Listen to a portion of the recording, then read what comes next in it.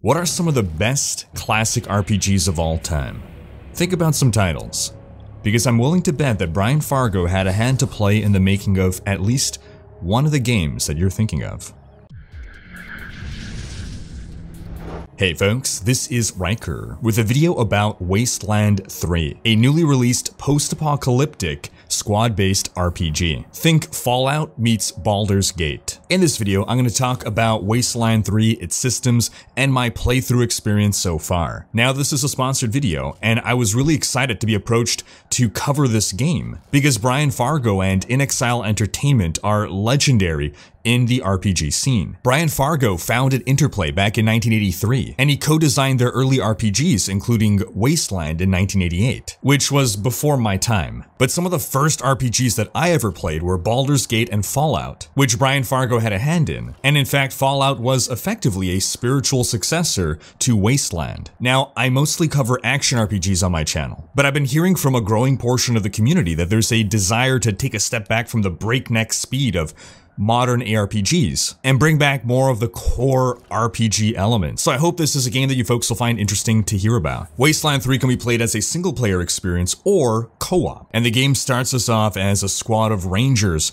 traversing a frozen over post-apocalyptic Colorado. We get ambushed, most of our squad is wiped out, and then comes character selection. You can pick between a wide variety of character duos or create your own. And because I'm a super creative person loaded with original ideas, I created a ranger named Chuck Norris. There's a robust array of character customization options. You have to allocate attribute points, with each providing different benefits, so you can really build the kind of character that you want. There's a ton of different skills to choose from, with even a wide variety of combat skills, be it melee combat, automatic weapons, etc. In our case for Chuck Norris here, I went with melee combat. You can also pick a quirk, but you don't have to. A quirk is something that gives you a benefit and a penalty, so there's some trade-off to be weighed there. And then you can also pick a background, which confers another form of bonus, and for Chuck Norris, we went with the one that gives him a bonus to melee combat. Now, one thing to bear in mind is that this is a squad-based game. You start off with just two characters, regardless of whether you're playing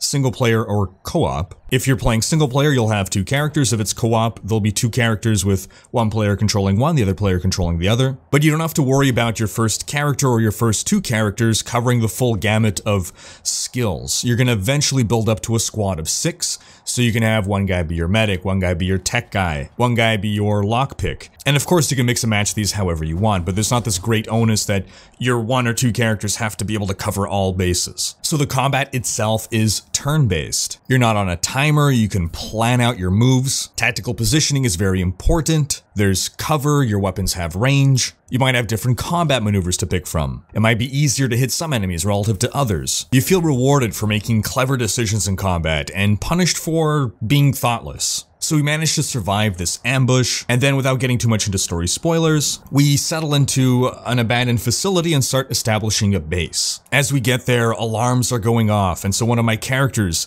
is trained in a skill called sneaky stuff. And using that, I'm able to go in and disable those alarms, which at the start are just annoying, but it's a nice little tutorial towards teaching you how certain skills can be applied in different ways. Now, there's a lot more gameplay than just the combat itself. While combat is a core pillar of the gameplay, there's also exploration, there's interaction with NPCs, and you'll be presented with scenarios where you have to make decisions, decisions that will have some impact on the story, decisions that'll come with repercussions, both positive and negative. For example, a group of vagrants shows up at our base, and they basically want to stay there. They're they're homeless, it's freezing outside, and one of our men is saying, hey look, if we take these guys in, it's gonna be bad for morale. It's gonna be bad for troop discipline. So I feel myself having to make this tough decision. Do I turn away these these poor people, or do I potentially suffer the consequences of taking them on? And so I choose to let them stay. And they're all shocked and they're like, really? We, we can really stay? And I reply, man's only as good as his word.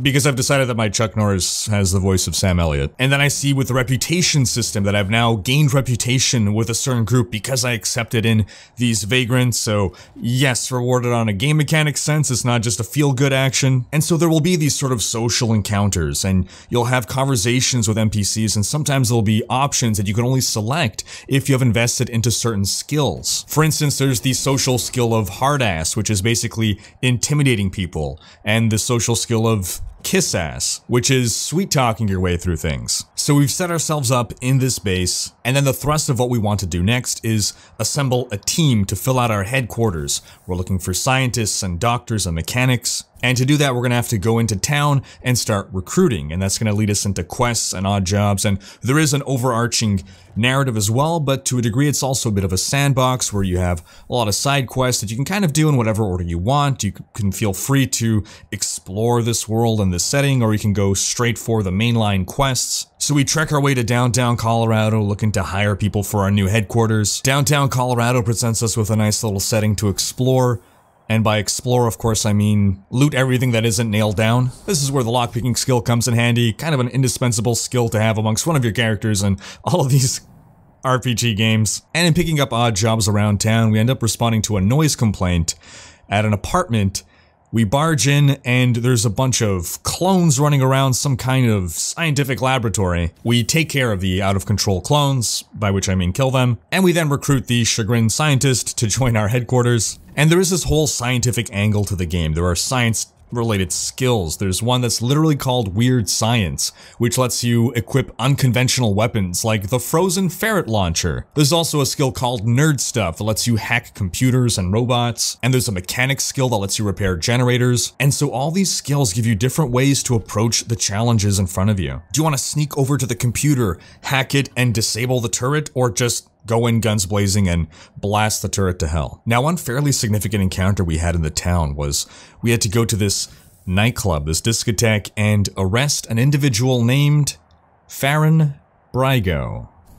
Faran Brygo, whose name is clearly a reference to Juan Brygo, the Argentinian hockey player who competed in the 1948 Summer Olympics. Now, on a completely unrelated note, let me tell you a bit more about Brian Fargo. After about 20 years with the company, Brian Fargo would leave Interplay along with a coworker, looking to start a new company and start working on RPGs again. And these two sort of felt as though they were in exile, and thus they founded inXile Entertainment. They reacquired the rights to the Wasteland franchise, and in 2012 began to crowdfund Wasteland 2 on Kickstarter. With a goal of $900,000, they managed to raise nearly $3 million dollars. I was working as a video game journalist at the time and I remember this making huge headlines. And this proved that there was clearly a tremendous love for classic RPGs, for the Wasteland franchise, and that there was tremendous faith in the team to deliver a great game. And now that I've played Wasteland 3, I can see why. So we managed to arrest Faran Brygo. We're making progress on recruiting people to our base and building goodwill with the people of downtown Colorado. And we meet a doctor that we want to hire, and he wants us to help treat his patients. And this is a nice little tutorial, actually, to the game's health effect system. The game has a myriad number of status effects, ailments, injuries that could be applied to both enemies and players. And then you have different items that could deal with these effects between medic packs and med hypos, antidotes, suture kits. The game has a wide variety of consumable items, including ones that give you temporary buffs and nerfs like alcohol and cigarettes and syringes. And of course, you also have your standard grenades and smoke bombs, Molotov cocktails, and there are even snowballs and snowballs that you can pee on to inflict various status ailments on enemies. Choice and variety really is the name of the game. And you'll also find different types of armor that you can equip in your helm, chest, or pants, these might have different attributes, different requirements, different bonuses. There's a whole arsenal of different classes of weapons. Assault rifles, sniper rifles, flamethrowers, rocket launchers, revolvers, laser pistols, different kinds of melee weapons. And then you can also put skill points into weapon modding and armor modding because you're going to find weapon and armor mods that you can use to further enhance your items. So we managed to recruit the doctor, which was a big win because now we can get free healing back in our HQ.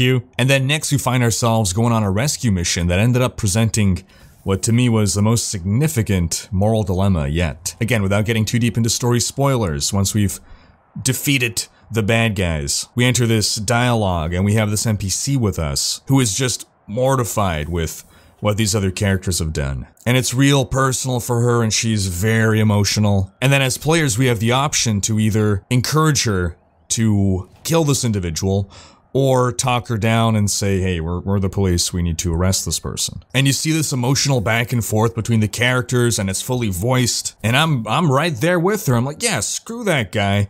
Kill him. He, he did horrible stuff. And so I pick that option and my character's like, bring down the hammer of justice. And so she pulls the trigger, executing the guy on the spot. But then, the other characters that were with this person, just a bunch of teenagers, start attacking us and we get into a combat.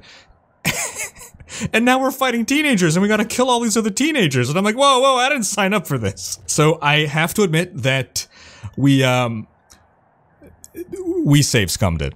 We, uh, we did a little, uh, rewind olio.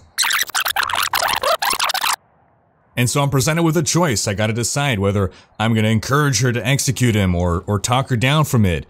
And I tell her, you pull that trigger. That ain't justice.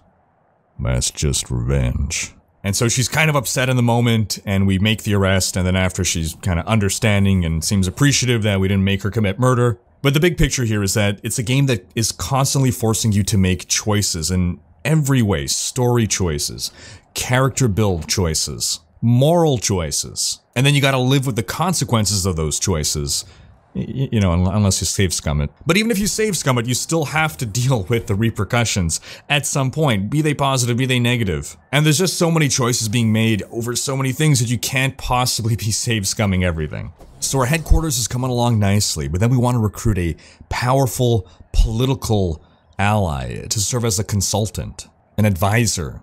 And this forces us to move out of this little zone that we've been exploring and go out, not quite into the wild, but into the overworld, where we actually take a vehicle and are gonna drive around to explore further locations than just downtown Colorado and our headquarters and its immediate environs. And this mission is taking us to the Bazaar. Not the Bazaar, the Bizarre. I found it bizarre that they call the Bazaar the Bazaar, but it is a bizarre bazaar. And they do address how bizarre it is to call the Bazaar the Bazaar. So we get there, we do some talking, we do some sneaking around, Thanks to skills I've taken, I was able to detect some mines that were planted in the ground, and using my explosive skill, I'm able to go over and defuse them. We get into some combat, and I was actually surprised at the variety of enemies we fight in terms of flavor, as well as in terms of game mechanics.